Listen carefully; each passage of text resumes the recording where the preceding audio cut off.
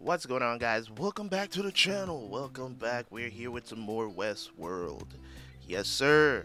Um, know what's going on, man. Our girl Maeve is on a mission. I don't know what she's going to do now with all of this intelligence that she's being programmed to have. I don't know what she's going to do, but we're definitely going to find out at some point. We got, um, what's her name? Every time I think of her name, I'm actually like tempted to call her um, Eleanor from Black Sails because the characters kind of reminds me so much of each other of how they act during the show.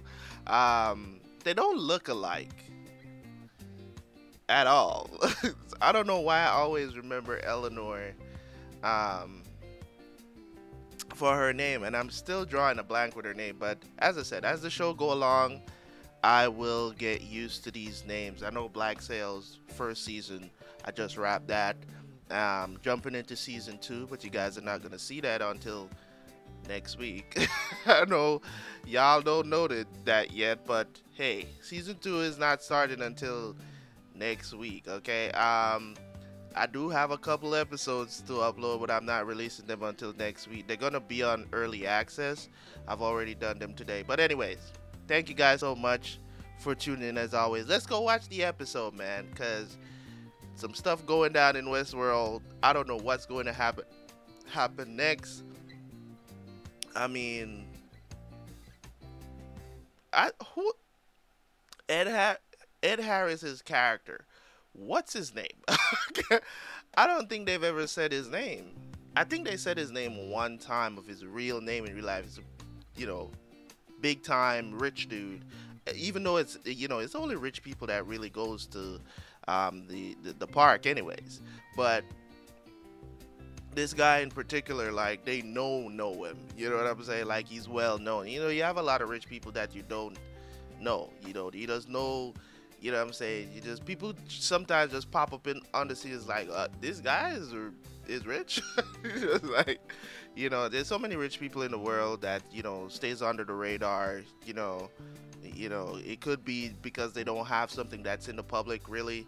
You know what I'm saying? It could be, you know, they could just have, have oil. you know I'm saying? It could just be uh, oil tycoons. There's a lot of oil tycoons that are rich billion billionaires that you you don't really know. You don't hear of them because they they extremely low key people. So in any case, let's jump into these reactions. I'm excited. Hope you are too.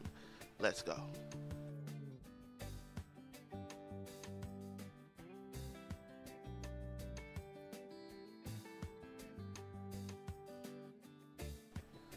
I didn't think for a hot minute that this show was gonna go up another level, and it did. I don't know what happens in later seasons of the show, but I can tell you this. I know a lot of people have said, oh, they've enjoyed, you know, the first couple of seasons and then it went to crap or whatever and I always say this when it comes onto my channel let me see for myself. You get what I'm saying? Let me see for myself. And if the quality of the show drops, if the storyline doesn't make any sense anymore, I am going to talk about it. You know what I'm saying? I.e., I can give you guys an example. Season 5 of Vikings was absolute trash. It was trash. You get what I'm saying? And now they're trying to finish out strong. So I'll give them props for that. You gotta be you know what I'm saying? I'm not one of those reactors out here that reacts to shows and just, you know what I'm saying? I know people don't like when you tr- trash their their best shows that they enjoy or they considered to be one of the greatest TV shows of all time. They don't like that.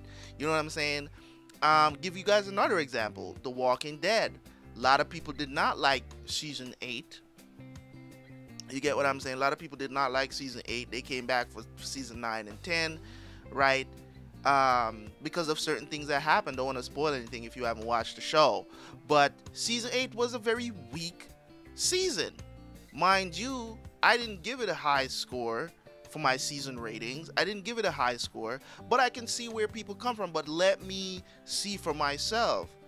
God knows if I watch, I'm not gonna be one uh, uh, one of those channels that is just like you have some people who said that Game of Thrones season eight was good. I'm like, what are you watching? You can tell the people who en- who enjoy storyline over the people who just want to be entertained. Okay, I want to be entertained and enjoy a good storyline. If you break that storyline you get what I'm saying? Or break that story into a narrative that doesn't make any sense. I'm going to call you out for it. I'm not going to sit there and be like, ooh, dragons. You get what I'm saying? The story got to make sense. It's not, I'm not a child. I'm not going to get excited because you have pretty dragons on screen. You get what I'm saying? The storyline of season 8 of, of Game of Thrones was absolute trash. It was terrible. You get what I'm saying? So for me, if you want to see my review, you can always go watch it. But for Westworld and for me being here, episode 7 of Westworld blew my mind. It kind of reminds me of of Dark season 1 episode. I think it was episode 4 that just blew everything off the angle and it just super exciting stuff, right? Storyline still didn't make any sense for Dark, but it still kept my interest because it was like it's like this for Westworld. Like you could have never told me sees after all this time. You could have even in the beginning of this episode somebody had said, "Yo, you about to find out that Bernard is a host." Did I I wouldn't believe you. I would believe I would I would say you're trolling me. That's that that's what I would believe. I would believe that you're absolutely trolling me at this at that point, right? But it turns out he is a host. And I'm telling you the clues were there before. When he when he said what door, I was like, what do you mean what door?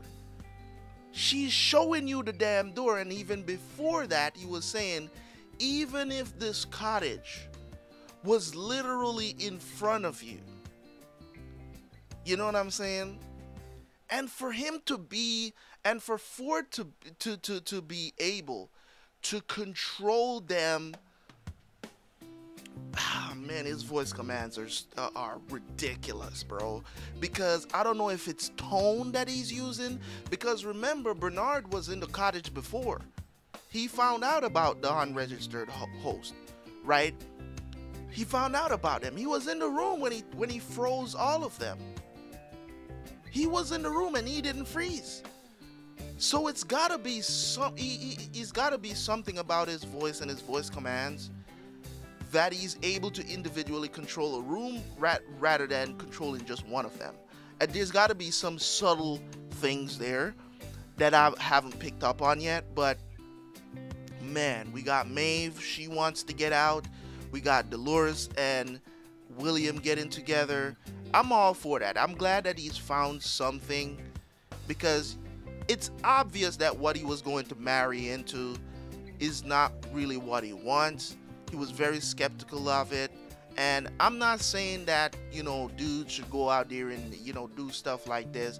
But if you don't truly love someone, you should marry them.